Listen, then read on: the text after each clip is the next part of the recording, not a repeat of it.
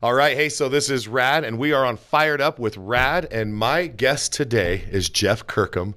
Uh, Jeff Kirkham is a veteran of the United States Army, and he also is an entrepreneur. And we're going to get to know Jeff uh, here on Fired Up with Rad. Hey, so, thanks for having me on, man. I appreciate it. hey, well, welcome. And I, I just want you to know that uh, I really appreciate you taking the time to be on the show today. And I just want to get to know you and uh, figure out a little bit about you. What do you say about that?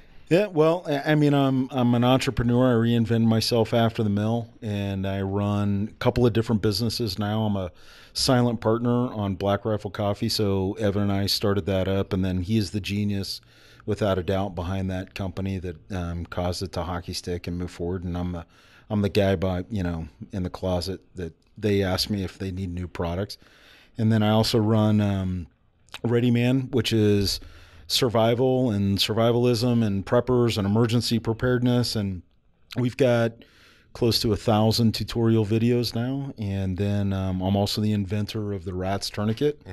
And Which I'm well aware of. That's a very good system that can be used to save lives. and we've sold that, uh, or we, we're selling that now worldwide.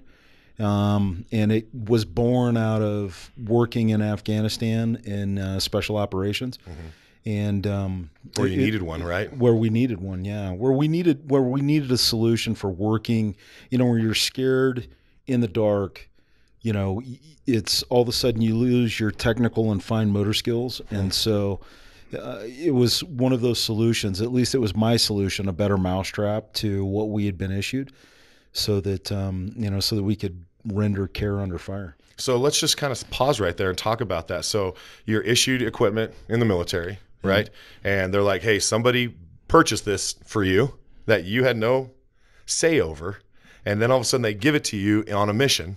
They're like, use this. It's supposed to do whatever it is it's supposed to do. And you get it and you're like, well, let me maybe duct tape it and wrap some paracord around it. And now it's what I need. Well, I think I think the term is is Bayesian analytics, and so there's this guy you know that came across and said, you know, I've got I've got this I've got this item to solve a problem that works phenomenally well in a you know in X setting. Usually that setting is in the light, not not much stress, um, and you've been trained. You know, you just get done practicing with it, and and then Bayesian came in. And he was like, "Well, you've got to. You can't really look at things that way. You've got to take a totality of system of uh, of of impetus and and with different. You know, what's the word I'm looking for? With a totality of all of the input that you're getting at the time. Mm-hmm. So scared in the dark, under fire. Sure. And so, eh, you know, for and a lot of the items that we have in the military are that way. They work out fantastic. And and actually I would argue now is way better than it was. So I joined the military back in the 80s and you know, we are just coming out of Vietnam, so it wasn't so bad, but through the 90s we really ran into equipment that worked phenomenally well in the clinical setting but didn't work so well in the oh crap i'm scared in the dark under fire setting. And so we we you know fast forward i was in a unit where we would um, recruit tribesmen out of the mountains and essentially turn them into commandos. And a big part of that was medical. And so we would we had issues with the tourniquet we were being issued because you know you start getting really clumsy with your 10 digits when you're under stress Yeah, I can imagine. It's like uh, there's no manual to probably put somebody's brains back in their head when it's in your lap. yeah It's like, where, where's that in the manual? So, and I reference a friend of mine who is a combat medic, and he had told me the same type of thing. He's like, hey, there's nothing in the manual for that situation.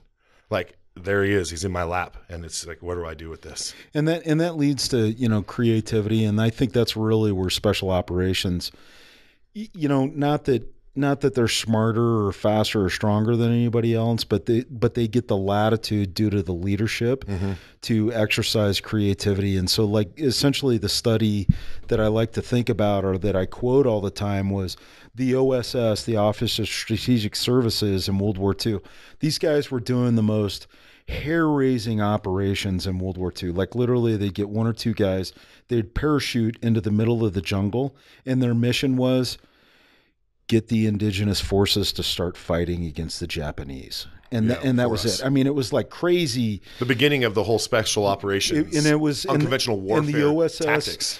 They are what turned into today's CIA Mm-hmm. and the Green Berets. Right. And so the OSS at that time were, and you can say the first Special Service Force kind of they more morphed into today's Green Berets, and today's Green Berets and the and the Ranger Battalion. The Rangers were out of there, but not really in the attitude that they are today. No, and Kennedy realized that need of the Green Beret and reestablished them back in the fi- or late fifties. Yes.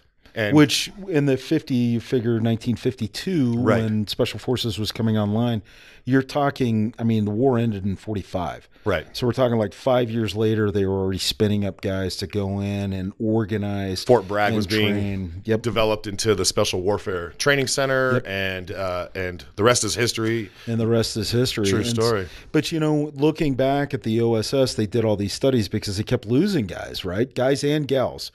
So Julia Childs, the famous lady from the cooking show, was an OSS. Right, and there's also uh, I just read an article about another lady who is still alive, I think, and she had dropped in, and she was just uh, SAS. Yeah, was was working essentially the partner force of the OSS, Right. in the British, and But she's airborne. She has a whole rack of ribbons, and she's yeah, got her jump wings. just done unbelievable British stuff. jump wings. Never wore a uniform day in her life, and um, you know, the so these, you know, they're constantly trying to figure out. It's like, what will increase the survivability of these guys? Who do we need to look for? So it was like the initial selection process. So this myth that Hollywood puts out.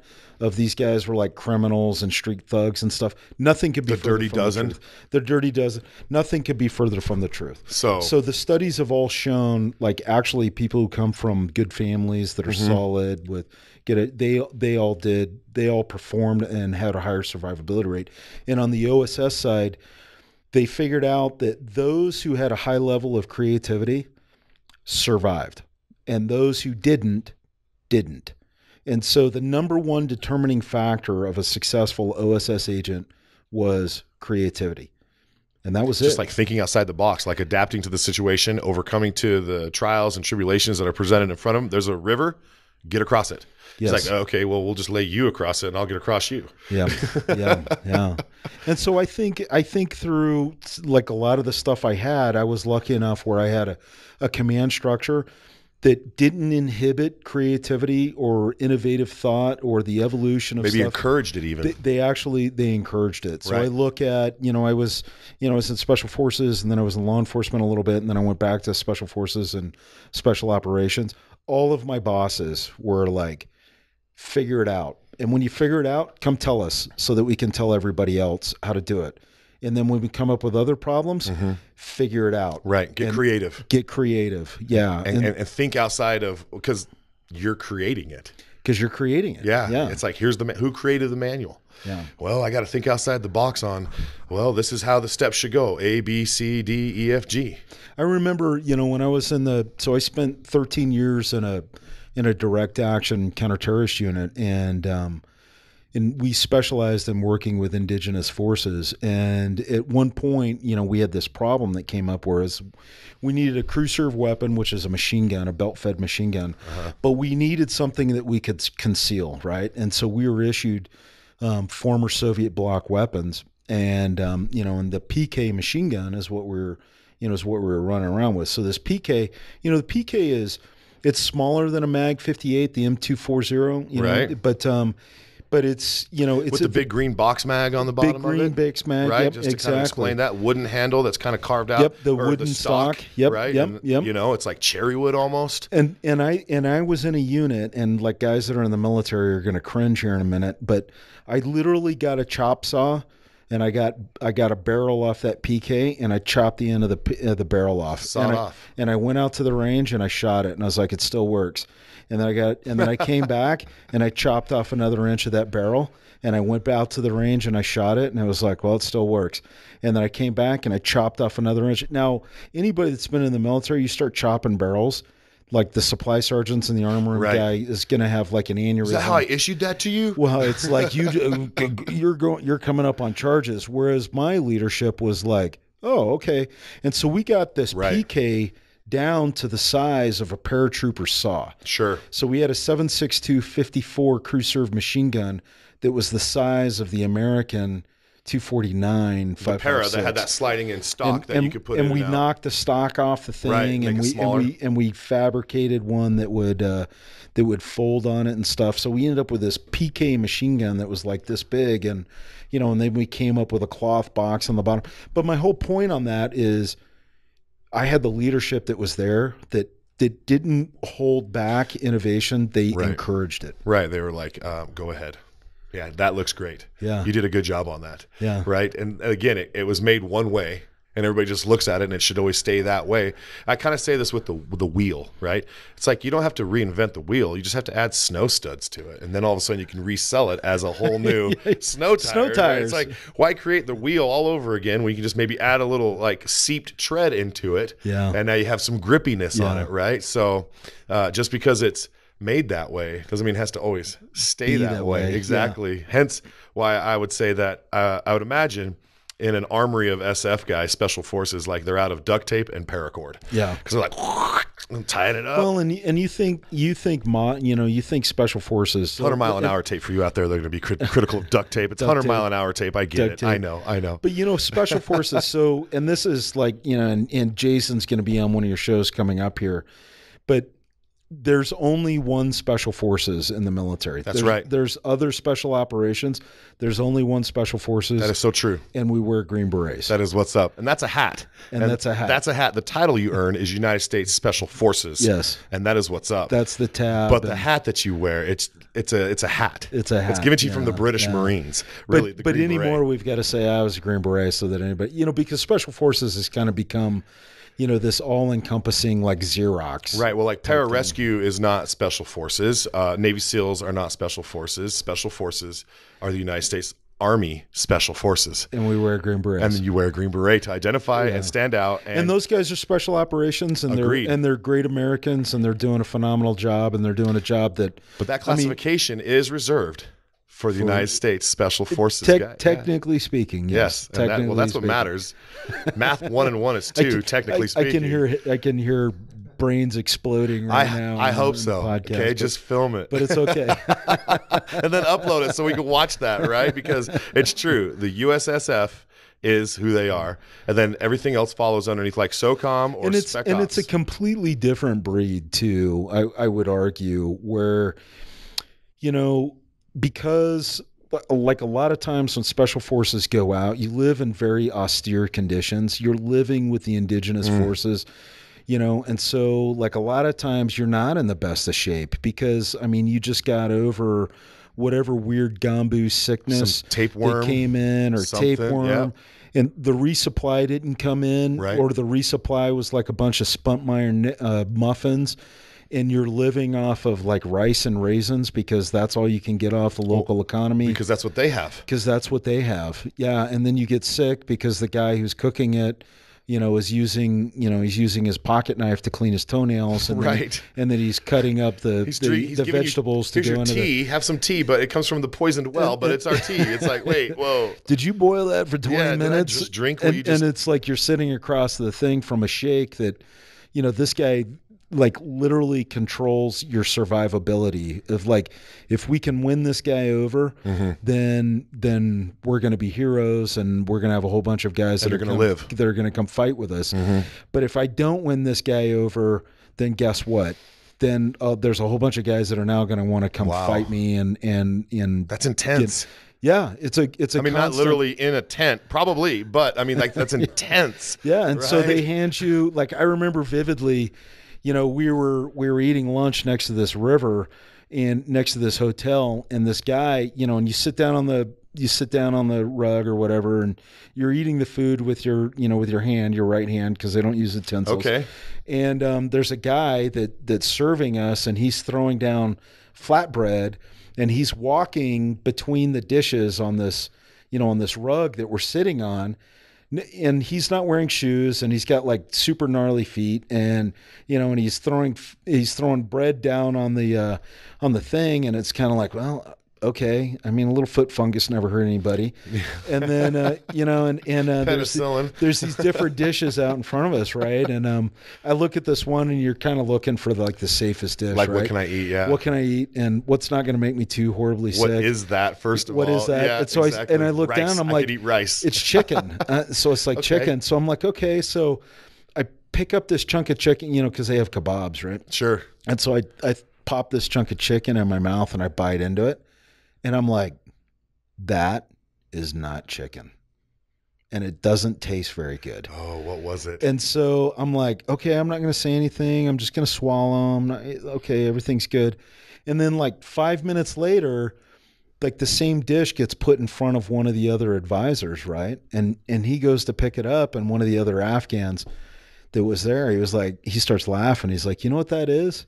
And the guy's like, no. And I'm sitting here like, please don't say anything. Please don't, say say anything. it. Please don't Just let me just swallow it. And he's like, those are goat balls. Nice. right? Huh? And at that moment, I was like, was it chewy? Can you describe what it tasted like? it, it like, kind of like burst in my mouth. like a like really? yeah, it was vile, bro. I'm telling you, it was vile. Was it like deep fried or just like cooked, no, it boiled? was it was like cooked on, Boiled a, on a kebab. It was goat balls. Goat yeah. balls. and it was like. Yeah, I mean, I you know, it's like okay. we have Rocky I'm gonna- Mountain I'm gonna- oysters I'm gonna around here. and I don't eat those either. Those are like sheep balls, right? Rocky Mountain oysters I deep fried. I think they're pig or uh, bull balls, or balls? something. Yeah. Yeah, right.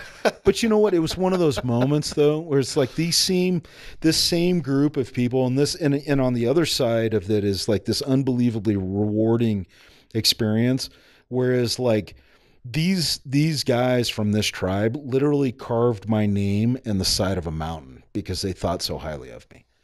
And so it's That's awesome. it's one of those things where it's like, whoa, I don't I don't know if to be worried or go on some ego trip. They're like this guy. That's who we're after this guy right here. like like Carving literally in. like literally my name was carved in this big friggin' rock on the side of a mountain. It goes Petra and then Jeff Kirkham.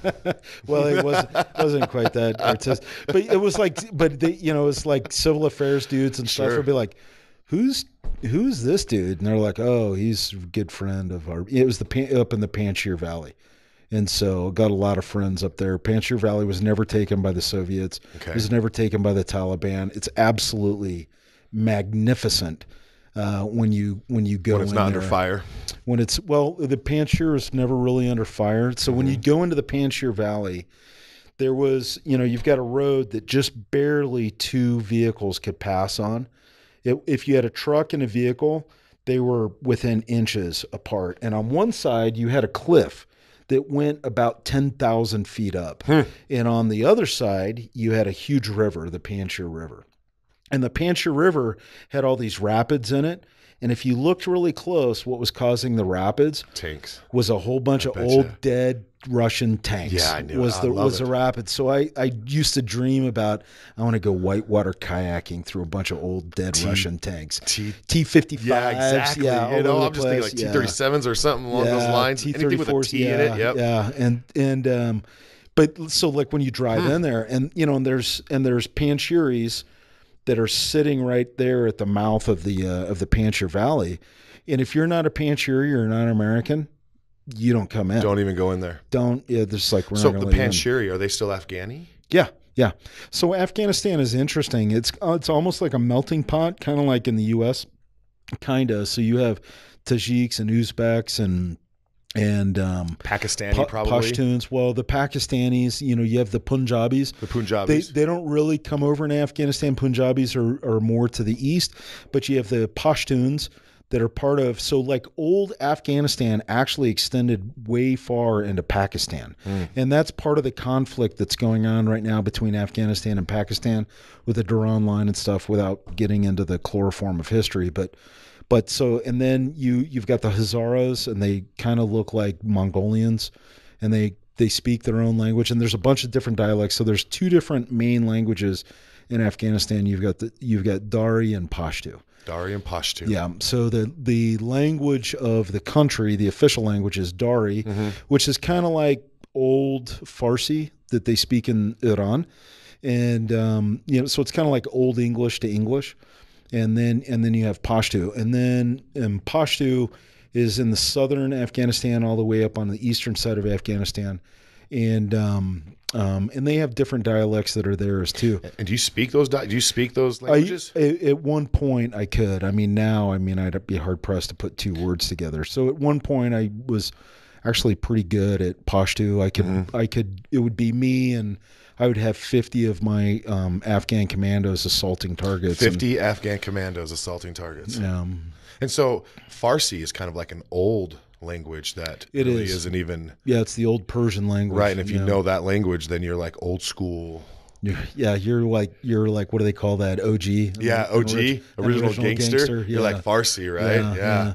Because you remember it was the Persians that were invading Greece Mm-hmm. that made, you know, the Spartans famous with the whole saying of Molon Labe with uh, you know, King Xerxes the second was coming in and told uh And that just means come and take it from come me. take it. You Yeah, know, just come like, and take They it. were like Spartans, throw down your weapons. And they Right. said Molon Labe. Like I'm here, come, come, get it. Come get them. Yep, I'm right here waiting for you with my swords on the 300 on that uh the the 300 Spartans. yeah, the right, the gates of hell. Yeah, well, gates march, of fire. The gates of fire. Yeah, so there's there's uh, hot there's hot pots that are there, like Mm-hmm. uh, you know hot springs that are there.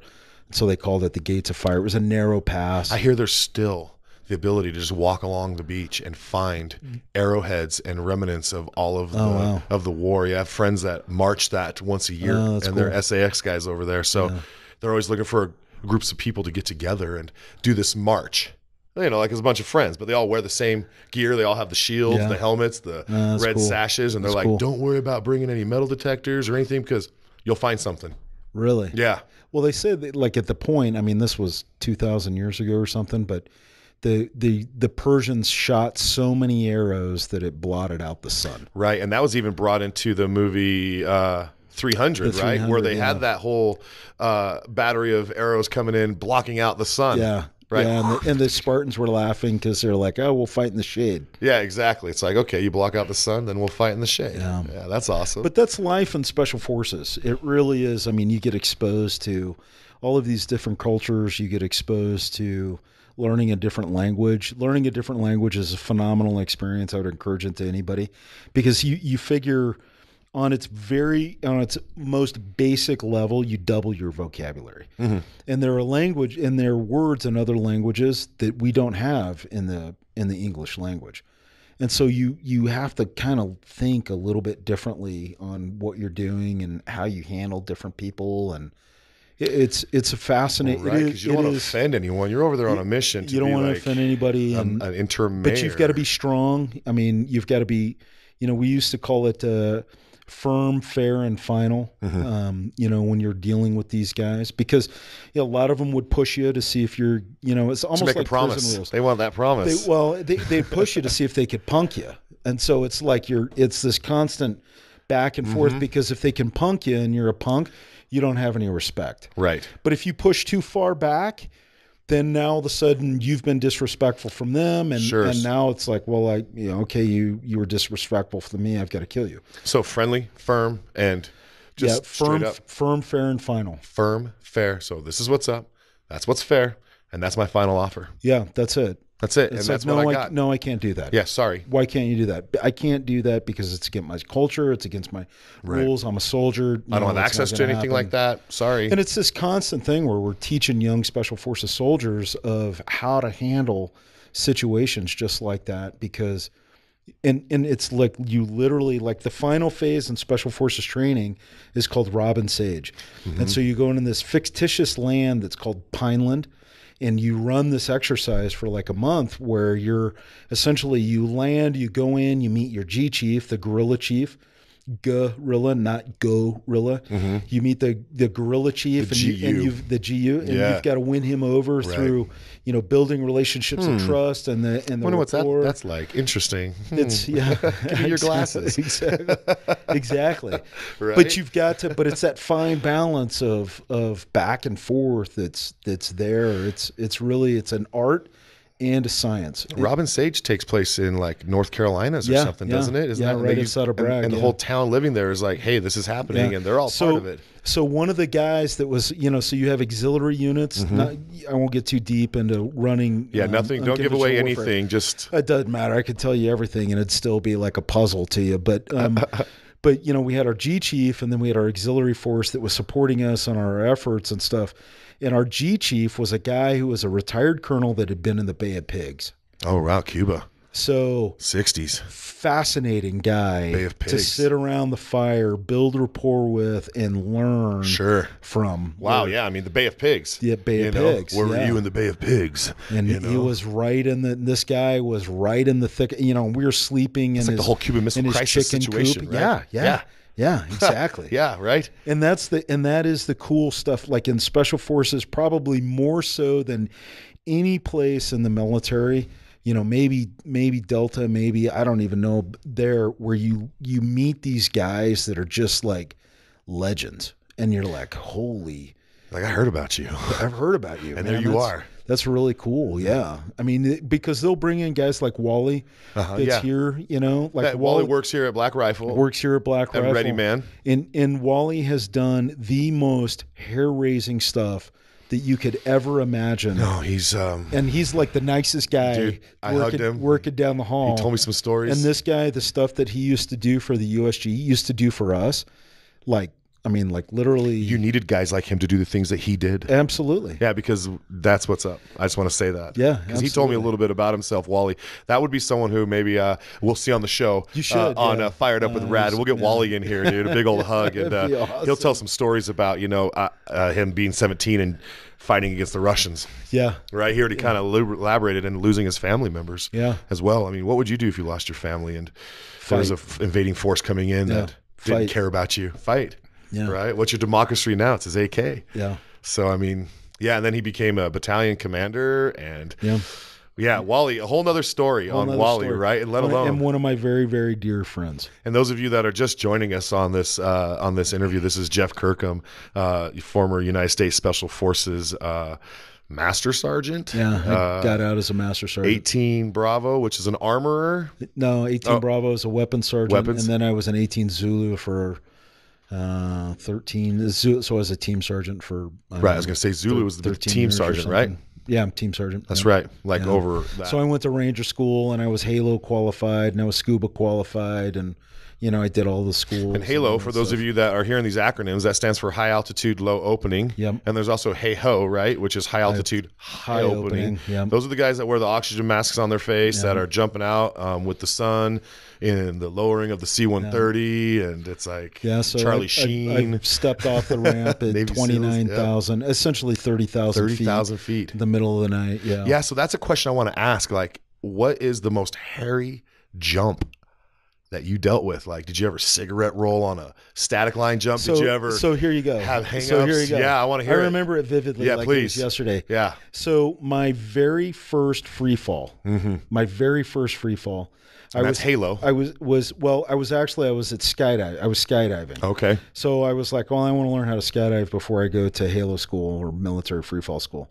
So my very first free fall jump, I was at a civilian drop zone, but it was owned and run by a SF guy who was in group with me. I was there with my team, uh, 145, and um, so I jump out. You know, so you, you go through and you get all, and then you watch videos of what the different malfunctions are and stuff, and and um, and like I'd done a ton of static line jumps up to then, but never a free fall, right? And so go out of the airplane, you know, body pose and all this stuff, and um, um, I look up, you know, so I I pull. Well, the chute gets pulled for me because the first ones are like stat. They're kind of static. They're kind of half. They like fall, trail. half- It's being pulled out of the plane. and it pulls it out. Okay. And so no, this was no, this was my first. Um, I'm remembering now. This was my first uh, um, true free fall. So I jump Solo. out. I get steady. Right. I wasn't doing advanced free fall, so it's just me. Right. So Right. I, I get steady, and then I, you know, I uh, I throw out and. Um, I pull my chute and and and I remember so I it, there's enough resistance that it stands me up right so I'm I'm basically feet to the ground and I look up and I'm like huh that looks just like one of those malfunction videos that we watched about Get two hours ago yeah so I had a bag lock it's called a bag lock so my my parachute never came out of the deployment bag So I'm looking up at this thing and I'm like, huh, all right. So I'm video. I'm, sup- I'm video. All right. So I'm supposed to pull on my ros- Right. risers a couple times. So I yank on them a couple times. Try to get it to like, oh, whoops, to open up, right? to get it to open up mean, and, and, exciting. and and it doesn't do anything and so i'm like well okay i gotta cut away and this whole time i'm like okay yeah i'm very matter of fact about it and so i i cut my chute away and then you simultaneously pull your reserve chute okay. so when you do that you know even with that bag above your head that's not doing anything it's still resistance it still slows you down right mm-hmm. so now all of a sudden i cut my parachute away and i go ass over tea kettle and all of a sudden I had that feeling of falling. And I got to tell you, to this day, it gives me goosebumps because it was absolutely terrifying. Because it was like ah, Out of control. Yeah, well, it's like you're you're, and all of a sudden you're like going head down in a dive. I wasn't ready for it. No. you're going head down in a dive towards Mother Earth. You know, your your second chute is starting How to come fast do you think you're falling? How fast? it probably i mean it seemed like a million miles an hour Right. it probably wasn't that much and you know in my shoot i remember my shoot coming off and i'm looking up at my shoot so it's like completely horrible body position right and i'm looking up at my shoot and i'm yelling at it and i'm like you better open up and you know and it and it like opens up and i was like So what was the AAR all about on the know ground, the- man? i don't know if the skydiving thing's for me Dude, who packed your chute? that was my very first it was a freak accident And, Yeah. i mean that's why you have reserve right right. And so, eh, but so there you go. You want to ask about a hair raising? I did want That to know about it. that. That that is hair it. raising. Yeah, because you you're always probably in control so much with you, what you do, your tasks. You know, taking things apart, putting them together, the weaponry, your parachute. You could probably pack your own chute for a static line, fold it up all the correct way, pull all the ropes and everything. So you're always in control. In that moment, you're not in control. It's like, okay, I'm done. Yeah, You're like, I'm not ready for this. yeah. Right? It's not like getting on a roller coaster. You're like, okay, bar goes down. It's, it's off good. you go. it- it's good to experience sheer terror once in a while, though. well, yeah, It because keeps you mortal. yeah, you're alive. You're Yeah, like, hey, I'm you're still alive. alive. Exactly. Oh, okay, that's a good thing. Well, that's a cra- that's crazy. I mean, and I've heard some others. I have a friend that uh, has a tattoo on his arm, and he's got a C-130, and it's got a bunch of cigarette rolls uh, of the guys that had had a mishap, and the Yeah. engine's on fire on a C-130. Oh, yeah. lost a bunch of guys on this crazy jump. And I asked him, I was like, "What's that all about?" And he's like, "Well, let me tell you about the cigarette rolls on my arm and what they're all representing each dude that didn't make it." Wow. Yeah. So Yeah. that yeah, that was static lines. They just all the way down. Wow. Yeah. They didn't pull the reserves. I I guess not. that's the story I heard. That's the story. So I'm going to go with that lore right there. Okay. there you go. well, I, I just want to kind of come at you and uh, let me see if Zach, Zach, are you hanging out with me right now? Yes, I am, good sir. Zach, how are we rolling on my uh, time limit with, uh, You are at 32 minutes and 30 seconds. so let me just kind of do Rad's rapid fire questions. I have a little bit of some questions that I'm going to ask you, and this is rapid fire with Rad. Lay it so on me. you just kind of give me your best answer uh, as we go, okay? So, favorite color? Green. Green. Favorite food? Oh, Indian curry. Yeah, chicken curry, without Indian a curry, doubt. I chicken think I was Indian in another life. Okay. Well, that's another show. I'm pretty sure. I could talk was to you about Indian in that. That's- life. that's I, deep I right could. I, I, I love Indian food and uh, yellow curry with chicken. so that's your thing. Oh, bro. Okay, yellow curry with chicken sent over to the ReadyMan offices. Go ahead and flood that in. What's the last TV show you watched? Umizoomi. Umi Zumi, because you have kids. I have. I've got a. I've got a five year old. And what is their, her, his name? Max. Max. Yeah. So I've got Odin is my oldest, and Max is my uh, is my youngest. Well, um, they're going to be very, pr- they're very then, proud of you. And then we have a little foster daughter too. That she's, Oh, okay. she's like two and a half years old, and I can't say her name on the on the show. that's but, uh, fine. That's fine. yeah, we'll just call her D. So you're a dad. Uh, you're a dad, a father, husband, Yeah, family man. Very much so, and Uh, love it. Love every second of it. Where's the last place that you vacationed? When was the last time I was on a vacation? Oh, we went out to my business partner's place in Hawaii. Well, there you go. and, and uh, took the whole family out there. Went scuba diving, shot some Had fish. some mental health time for yourself. It was good. Yeah, That's what I. That's Yeah. why I'm asking that question. Yeah. Pretty much, if you come on my show on Fired Up with Rad, then you're going to hear me ask you that because I believe in mental health and what frees your mind from your Yeah. regular crazy times. Amen, brother. I believe it. Uh, and the last book that you have read? Uh, the last book I read was the final read on one of the books that Jason and I just finished writing. Excuse me, which was uh, the last Air Force One. So Black Autumn, the last Air Force One. That's right, because you're also an accomplished author and you have books and manuals out there. Where, um, let me ask you this question: uh, What is your favorite kind of music or band? Heavy metal. Heavy metal. What falls into heavy metal for you? I want to know what you consider I, I'm, I heavy mean, metal, bro, because I know what I. it's so like in the 80s it was like the regular heavy metal and as i've gotten older i mean i'm i'm almost 50 now Like Metallica. Like metallica, back in the Metallica. 80s and stuff but um now i mean i listen to i'm i'm kind of out of my age bracket but i mean i listen to like um um, Parkway Drive and Sure. Five Finger Death Punch Okay. and Killswitch Engage and there's something about that music that actually calms me. That's cool. So I hope that those out there listening also can appreciate what music does for the soul. And um, I just want to say it's been a really great time having you on uh, Fired Up with Rad. And I will have you back on this show at another point. Looking forward to it. Bro, I just want to say thanks for all you've done for my country and for the people of other countries. And, um, you know, thanks for serving at the 19th. And uh, I just want to shake your hand. Thanks so much. Oh, and also, uh, as as my first guest, I'm going to award you with this War Machine patch right here. Nice. Let me show that off. Let's see if I can get that you on have to there. show it to that camera. Oh, There we go. So that's the War Machine. So I have a tank, and uh, a friend of mine named Felicia, whose uh, significant other is also 19th Group Oh, okay. Airborne, uh, Trevin. They made this, and uh, I'm going to offer it to you. Wow, thank okay, you they're limited, much. one of 30. Oh, nice. Okay, so you have number 30. Ah, I just randomly hand them out, so the number's not specific. And then I'm sitting in the top of the turret right there. I see that. And it was designed on the Scooby Mobile. She kind of like manipulated it to look like, you know, awesome. a good time because I just want you to have a This good is time. this is even better because I am a van guy. Okay. I, I love driving. it's vans. IR too.